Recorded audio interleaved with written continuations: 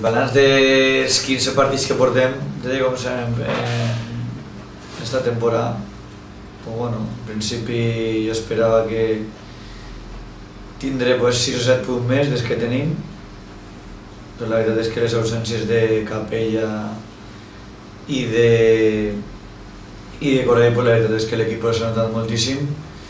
I bueno, estem en procés de, de reestructuració, de, de consolidar-se sumant de 3 en 3 i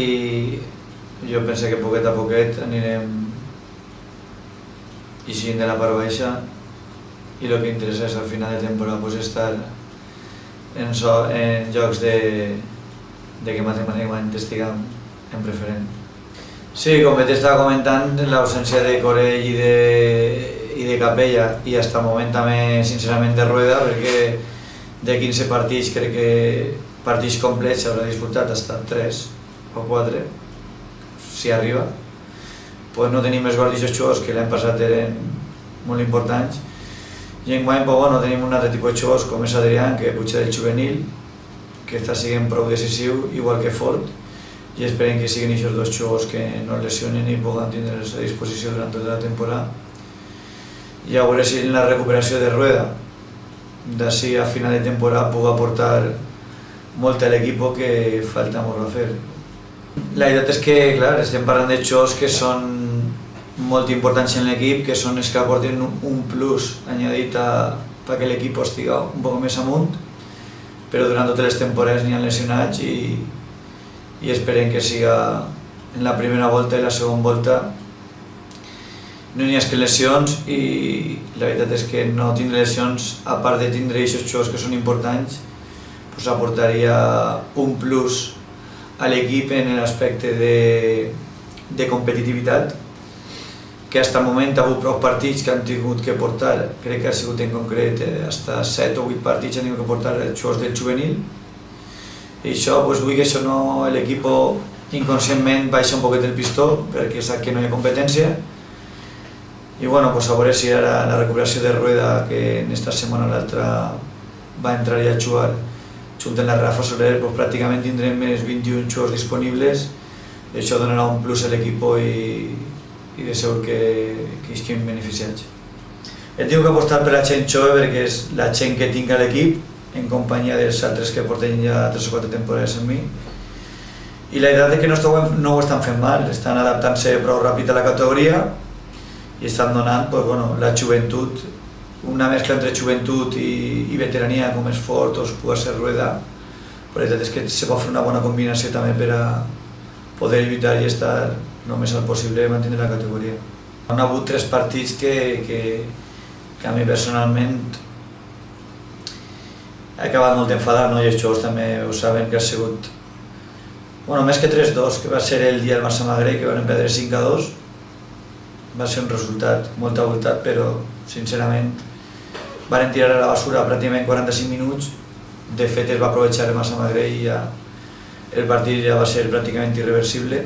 a pesar de que la segona part, cada vegada que arribarem, va fer gol. I com bé has comentat, el dia del Buixec va ser, com a entrenador, va ser, per mi, nefasto, això no aportaren res, no l'entén el nostre dia, però bueno, això és futbol i em veies que vols fer moltes coses i no fas res. Varen perdre 4-0 i sincerament en aquests dos partits hem encaixat doncs, pràcticament aquests dos partits i davant el primer partit davant el quart de Poblet hem encaixat doncs, 12 gols que se diu molt pronte i que de 15 partits hem encaixat 22 gols en contra i que d'aixòs 15, 3 hem encaixat 12 o sigui que la meitat més un.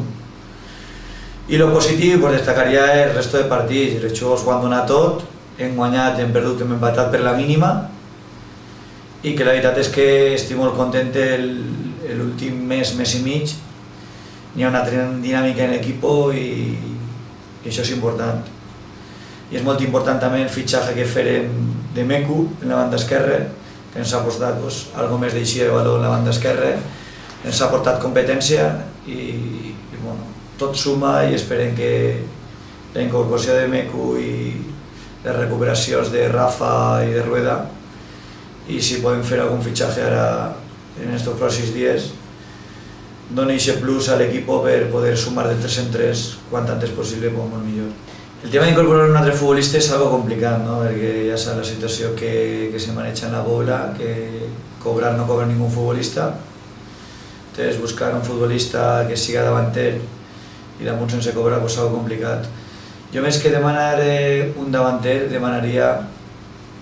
eh, la recuperació 100% de Rafa Soler i la recuperació 100% de Rueda, que són dos futbolistes que a nosaltres ens farien molta falta i que portarien moltíssim a l'equip. A part de la competència, pues, bueno, els gols també de, de Rueda, que l'any passat van ser importants, crec que va fer crec que van ser 11 gols. I ara mateix li donaria més importància a aquests dos jugadors que a la incorporació d'un altre futbolista. Al igual que també el que ens ha portat, com comentaves, de Meku, que és un jugador surdo, que en l'equip pràcticament crec que teníem sols que a Juanvi i que no a la lateral esquerra i ens ha portat pues, bueno, solidesa defensiva i a l'hora d'atacar pues, si volem incorporar aquest futbolista poder progressar per banda o sigui que en aquestes tres coses quasi quasi me conformaria més que el de firmar un davanter.